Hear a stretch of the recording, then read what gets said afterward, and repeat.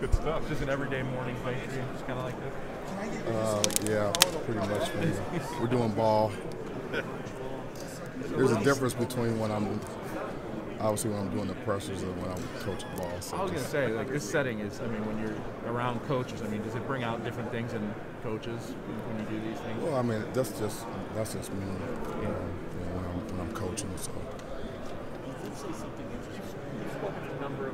Number type of events. Are there sometimes when you're feeling it more than others, or is that what we get every time? Uh, that's pretty much you know, who I am when I'm talking about ball and, and uh, talking about you know coaching and you know we're all very passionate about what we do.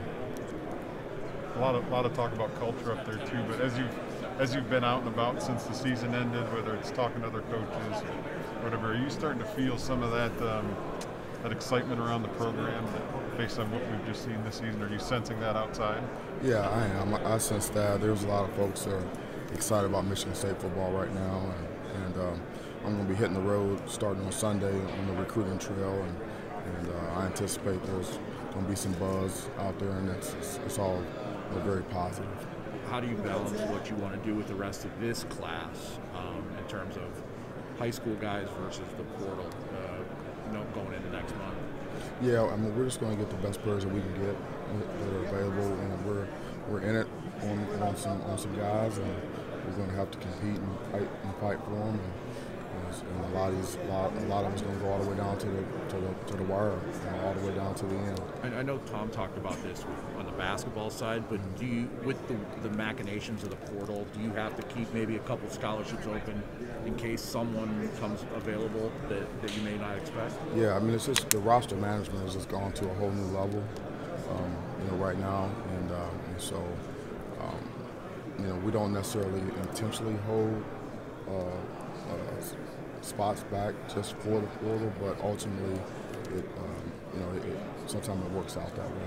I know Nick was supposed to supposed to be here on after you. Would it have been kind of cool to have him here, yeah. have a little interaction with him up there? Yeah, I would, I would have liked to see coach. You know, obviously, he's he laid the foundation for me and coaching. And, three of my first four years in the profession were with Coach Saban. And what was that like watching that game? I'm sure you watched the game Monday. Mm-hmm. You know, him on one side and a lot of you know guys you recruited on that Georgia team. What was what were the feelings like for you when you saw that? Yeah, it was just uh, it was just you know very um, it was just you know gratifying to see uh, you know both both programs out there competing to finish first and, and uh, you know I was really you know kind of pulling for for both teams, and because obviously uh, you know, Coach Saban and I go way back, and, I, and I, know people on his staff, and I still got a maybe a player or, two. Um, you know, I, think I had one player that I recruited was out there playing, and then um, got you know all those all those kids at Georgia that I was able to you know, work with. You know, help help to recruit there and, and all the staff at Georgia. So I was kind of just uh, knew it was going to be a good game and kind of pulling pulling for both teams. Both teams are pulling for both defenses. Then are you always rooting for defense? No, I'm just you know I'm just really uh, you know this this coaching profession is a very um, small world. It's a very tight tight knit group of coaches, and so ultimately. Um, you know, I'm, I'm, usually not pulling for teams. I'm pulling for, for people that I know. I'm pulling for coaches and, and things like that. I'm pulling for players that, that I know. Uh, and so, uh, I mean, it's it's it's um, it's very interesting. You know, when you you have intimate knowledge of you know what's going on out there with those, with those teams, but I don't necessarily pull for one side of the ball or the other You know, during the season, it was you know maybe not can't see the forest from the trees type of thing. You talked about you know you kind of evaluate the season when it's done. Is it now you've had a little time to reflect? Do you kind of have you know a sense of appreciation for what you were able to accomplish, like you mentioned up there, two and five to eleven and two? Yeah, yeah, we we uh, I, have reflected on that and and uh, I told I told the staff, um, you know, at, at, the at the at the bowl game um, in our last staff meeting before the game. Um, but let me go back. People asked me before the season. I got a lot of questions about what what what will success look like for you for this team, and I, I said, you know, for us to, you know, reach our full potential. And you know, people, I don't think necessarily want to hear that because it's like, yeah, yeah, yeah. I mean, you know, it's cliche, but that's really, you know, I really meant that. And certainly, I told the staff in that last staff meeting, I, I said, guys, I, you know, first of all, I want to, you know, thank everyone for all the efforts. And I know we got one more to, to go out here and get, but I really feel like that we got the most out of this particular team that we could get. I just, uh, there's, there's not, we couldn't, we haven't left anything, you know, on the table. Um, you know, they gave us everything they had, and we gave them everything we had, and I thought we got the most out of out of this group. I thank them for that, and so that's how I feel about this this, this team. Jalen, Kevin, some of the guys that made NFL decisions, but you got some guys coming back. What did you think of Jaden and Xavier, Ronald, Jarrett? You know, getting these veterans back and what that does for you guys in 2022. Yeah, well, I, I think it's I think it's good. It's good for them, um, and so we've got more um, more work to do and more development and and um, you know just get better, marginal gains, and, and, keep working with them individually to get them better. And it's going to help us have a stronger team because you know these guys are experienced players, veteran players that understand our culture and and uh, they're going to be leaders for us and and uh, you know understand understand what it takes to uh, to compete at at a really high level and, and to uh, to find a way to win win games. Jeremy, Jeremy Bernard, new guy. Can you speak to, about him and what he brings to you, and how you were able to kind of secure him late with what happened with Washington? Yeah, well, he's a he's a he's a, a very good player. I mean, I, I, believe that he's a player that can be a difference maker. Um, he's uh, really got he's got a really good combination of size and speed, and he's strong with the ball. I mean, he's he um, he's uh, he's a guy that that uh, I feel like it's going to fit well, um, you know, with our with our mix of guys, and that he's going to be able to he's going to be able to help us, uh, you know, big time. Obviously, you know, recruiting is fluid, and uh, you know, it's, it's always it's always changing, and we were we were uh, you know, luckily we were able to you know, we were able to get him, get him here, and I'm really happy that he's here. We never got a chance after the Peach Bowl to ask you about Darius Snow playing safety. I know he played safety in the second half of the Ohio State game, but where does he fit?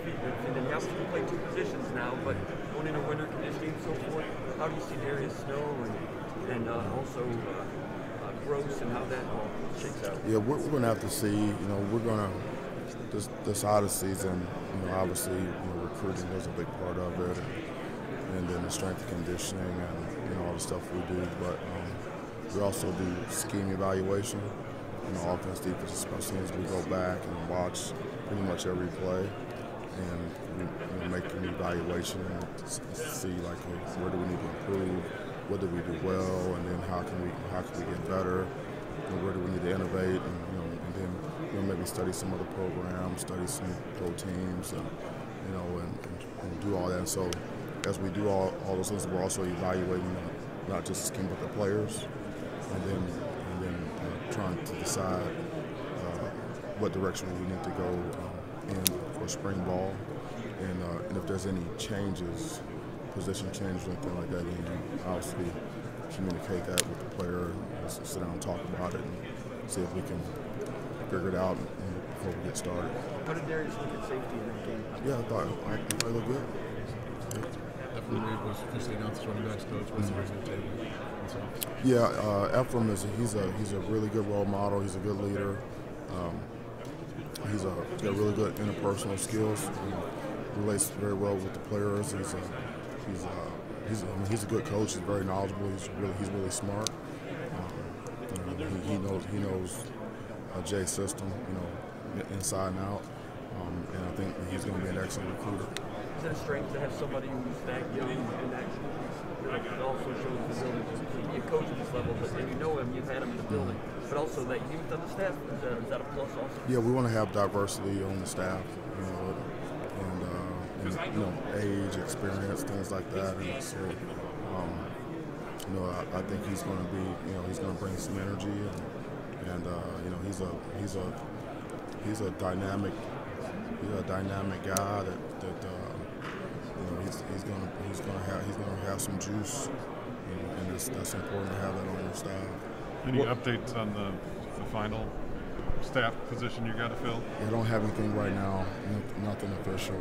With with, with Keon and Malik, um, can you kind of walk us through your conversations internally to, to let them try basketball right now, with particularly if they're going to be significant contributors? Yeah, well, I mean, I, I told them that they want to play, that they can play, and if coach, you know, want to allow them on the team, and so I, I got no, I got no issue with that. And, um, you know, we knew Keon and during, the recruiting process, he wanted to play both, and uh, and actually, you know, Michigan State does have a history of, you know, guys are football, football, football guys on, you know, scholarship to play, play basketball. I think going back to like Andre Rison, I think he played. And when I was here in, in 97, 98, Lorenzo Guess was on the staff. He, he did both.